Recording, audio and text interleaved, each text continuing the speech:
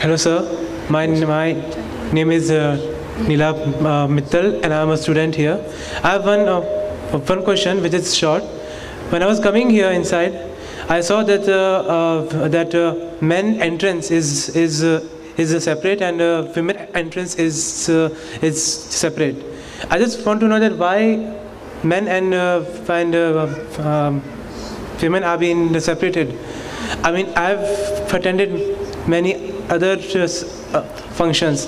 I'm, I'm a Hindu basically, so I attend Hindu functions and I, I also attend uh, these these functions. In Hindu one, I see that uh, that we all sit together, but here I'm seeing that there's a there's separation here, as you can see. May I know the what it holds in beloved brother, thank you so much, and I appreciate the question and your honesty and your bravery to have come up and questioned it. It's good. The reality is, bottom line, when we believe, we take instruction from Allah and His Messenger. That's how it stops. You follow what I'm saying? When we believe in Scripture, we, we've believed in Allah. We did not impose this. We did not impose this ruling on the rest of the globe.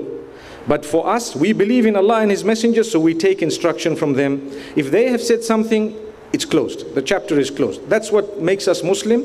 And if we understand the logic, Alhamdulillah, that's good enough. If we don't understand the logic, there may come a day that we may, but that doesn't mean we won't follow the rule up to that day. We will still be following the rule. However, if you take a look at uh, you know, the nature of a male and a female, Islam has protected the female such that any uh, attempt to degrade a woman to a sex object in any way whatsoever is actually blocked and stopped and considered taboo and a sin.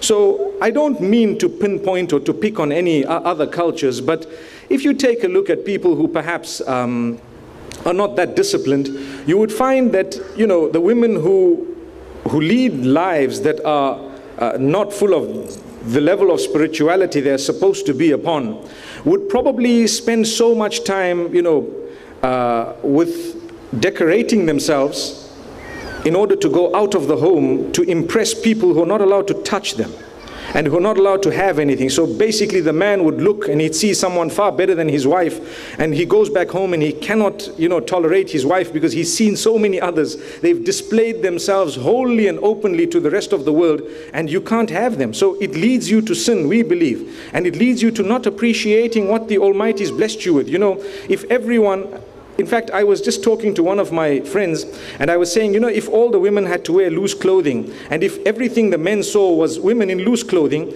we would appreciate the figures of our own women because we wouldn't really be able to say, oh, I've seen figures far better than yours, now you're becoming fat and ugly. And astaghfirullah, she's just gaining a bit of weight because of children you have actually got with her.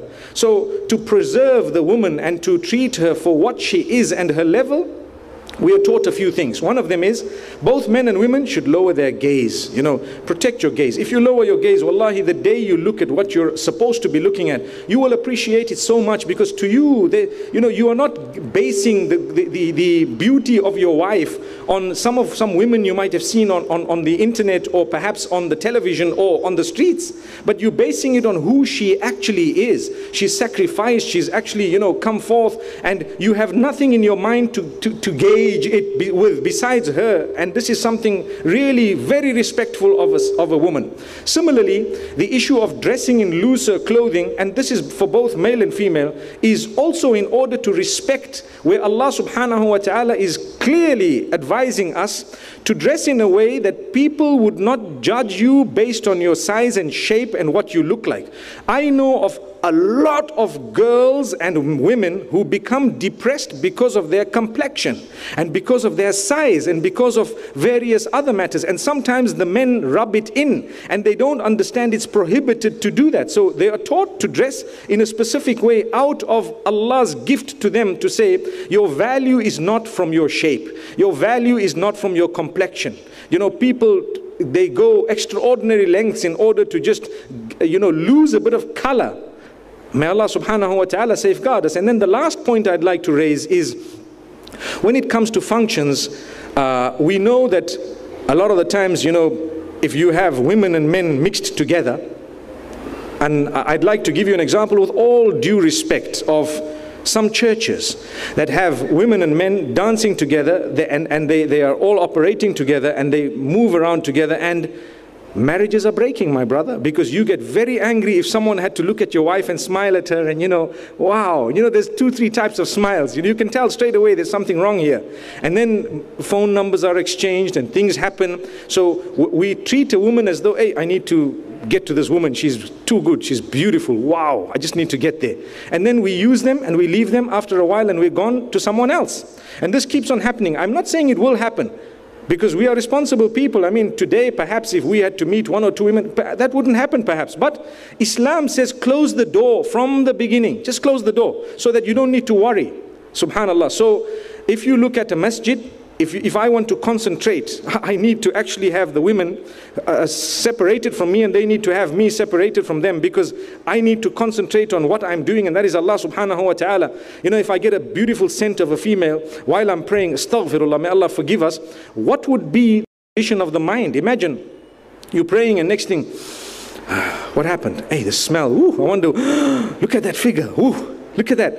You are insulting Allah subhanahu wa ta'ala and at the same time you're not appreciating the gifts of Allah. Today we have a beautiful discussion of faith and spirituality. If there are women sitting in the midst of men, I'm not saying it would have been exactly the case, but you know how the world has been sexualized completely. We are living in a hypersexual stage of the globe. It's the worst it ever was.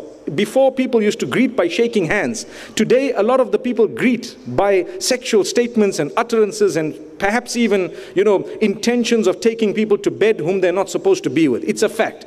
May Allah strengthen us and may He forgive us and our children, may He strengthen us all. So, if we have a separation, there is a lot of respect. That is one thing you can notice. Can I ask you one question? Can you notice the amount of respect we have for females? If you notice, there are females on my right. They will have definitely noticed that this man did not give us a clean cut glare into the crowd where the women are. I'm sure they would have noticed that. Why? Not because I see them as something intimidating, because of the respect I have for the females. Somebody's wife, somebody's sister, somebody's daughter. It could have been mine. Imagine someone stares at a face that is glaring from somewhere, and the speaker's just looking at this person, and they go home and say, He looked at me. He looked at me. You defeat the whole purpose of the talk. Why are we here today? You defeat the whole purpose. I lose respect, and people start beginning to spread rumors and so on. And we are supposed to be speaking of spirituality. So, powerful question. I hope what I've said has just helped, but I'd like you to go deeper and research because I cannot do justice in just a few minutes uh, to what you've asked. I've only tried to give you part of the answer, and I hope that the uh, you know gathering would appreciate what I've just said. Barakallah. Thank you, sir.